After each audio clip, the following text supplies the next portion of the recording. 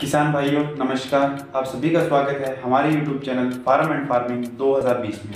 दोस्तों, इस वीडियो में हम बात करने वाले हैं कि हम अपनी गेहूँ या सरसों या किसी भी फ़सल की उपज को किस तरह बढ़ा सकते हैं। मेन हमारा फोकस आज गेहूँ की फ़सल की तरफ़ रहेगा।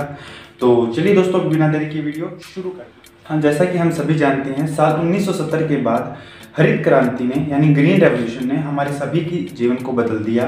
कृषि को एक नए मोड़ की तरफ़ ले गया। जिसके अंदर अधिक उत्पादन देने वाले बीजों का उपयोग, अधिक फर्टिलाइज़र का उपयोग, खाद का उपयोग और नई नई तकनीक का उपयोग करके हम हमारे पैदावार को बढ़ाते हैं। तो चलिए दोस्तों, अब बात करते हैं हम उस तरीके के बारे में जिसकी मदद से हम अपनी उपज को बढ़ा सकते हैं। वो भी बिना किसी केमिकल फर्टिलाइज़र को यूज़ किए। सबसे पहले बात करते हैं यूरिया। यूरिया है वो पौधे की ग्रोथ में मदद करती है, जड़ों को डेवलप करती है।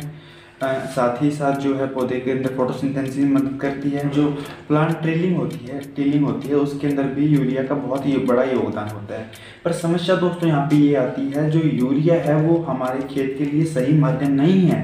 पोषक तत्वों को पहुँचाने का पौधे की ग्रोथ को बढ़ाने का कारण ये क्या है दोस्तों? कारण ये है कि ये केमिकल फर्टिलाइज़र है।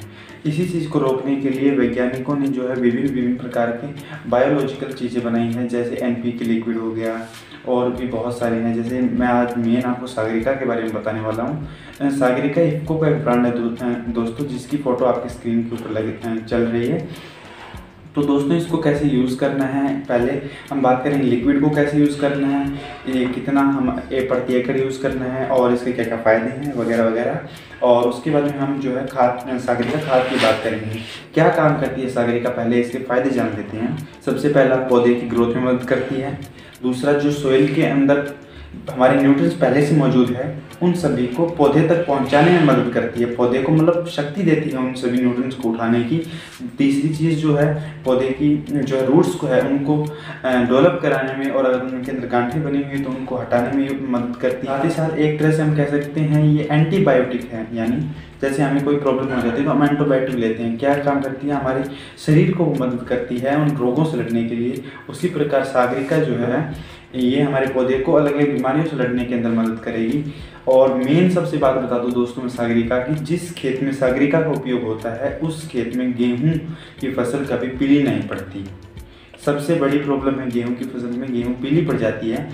अगर आप सागरिका का यूज़ करोगे तो गेहूँ पीली पड़ने वाली समस्या खत्म हो जाएगी। इसके बाद में दोस्तों, सागरिका लिक्विड को यूज़ करना कैसे है? हम इसको स्प्रे कर सकते हैं। 250 ml प्रति एकड़। इसको आप केवल स्प्रे कर सकते हो और या सिंचाई के समय भी आप सागरिका लिक्विड का यूज़ कर सकते हो। 250 ml प्रति एकड़ के हिसाब से आप इसको खेत में दे सकते हो। अगर आप स्प्रे कर रहे हो तो एक चीज़ का ध्यान रखना दोस्तों, सुबह की जो ओस है उसे उड़ने दीजिएगा, उसके बाद में सागरिका लिक्विड का उपयोग कीजिएगा। जो ये सागरिका लिक्विड है दोस्तों, इसको यूज़ कितनी बार करना है और कब कब करना है, ये मैं आपको बता दूँ। सबसे पहली बार हमें यूज़ करना है टीलिंग स्टेज में। ठीक है दोस्तों? सबसे पहली बार यूज़ करना है टिलिंग स्टेज में। दूसरी बार यूज़ करना है जब फ्लोविंग स्टेज स्टार्ट होने वाले हमारे पौधे की इवन वो पौधा गेहूँ का हो सकता है, कपास का हो सकता है, सरसों का हो सकता है। किसी भी चीज़ का पौधा हो, पहला उसके टिलिंग स्टेज में, दूसरा उसके फ्लोरिंग स्टार्ट होने से पहले, और तीसरी बार हमें इसको लास्ट बार यूज़ करना है हमारी फ़सल उत्पादन होने से पहले। कब करना है? वो जब फ्लोरिंग हमारी हो जाए, जब फ्रूटिंग स्टार्ट हो, उस टाइम में हमें सागरी का यूज़ करना है। मैंने आपको बताया, इसको हम पानी के माध्यम से दे सकते हैं, सिंचाई के माध्यम से, और दूसरा हम स्प्रे कर सकते हैं। तो चलिए दोस्तों, ये बात हो गई सागरी का लिक्विड की। अब बात करते हैं सागरी का खाद की, जो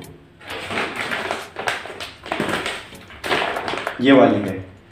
तो दोस्तों, ये भी एक इफ्को का ब्रांड है।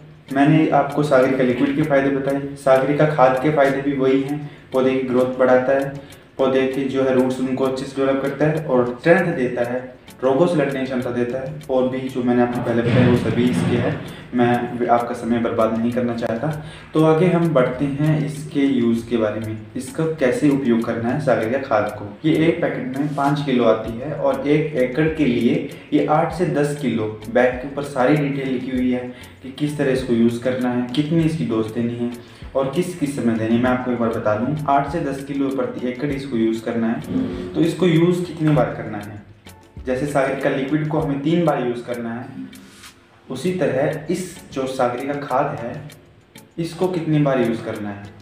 पहला, बुआई के दस दिन बाद और दूसरा, पहले बार के तीस दिन बाद, यानी बुआई से चालीस दिन बाद आपको उपयोग करना है। कितना करना है? मैंने बताया आपको, आठ से दस किलोग्राम प्रति एकड़ के हिसाब से आपको इसे यूज़ करना है और इसके साथ यूरिया जो है, इसका भी उपयोग कर सकते हैं सागरिका खाद के साथ। जैसे कि आप वीडियो में देख सकते हैं सागरिका खाद और यहाँ पे मैंने जो है यूरिया, इन दोनों को मिलाया है। यूरिया मैंने प्रति एकड़ जो है इसी के साथ थोड़ा ही उपयोग किया, ज़्यादा यूज़ नहीं किया। जो से सागरिका आठ से दस किलोग्राम है तो मैंने यूरिया भी नौ किलोग्राम के आसपास ली इन दोनों को मिलाया है और उसके बाद में मैंने अपने एक एकड़ के अंदर इसका छिड़काव किया है।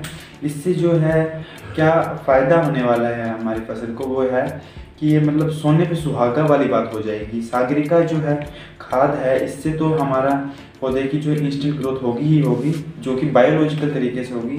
मतलब नेचुरल तरीके से होगी। इसी के साथ अगर उसके अंदर कुछ ऐसे एलिमेंट्स होते हैं जो हम मतलब नेचुरली नहीं प्रोवाइड कर सकते, जो कि सिर्फ़ यूरिया के अंदर केमिकल्स के थ्रू दिए जाते हैं तो उन सभी चीज़ों की भी भरपाई हमारा पौधा कर लेगा।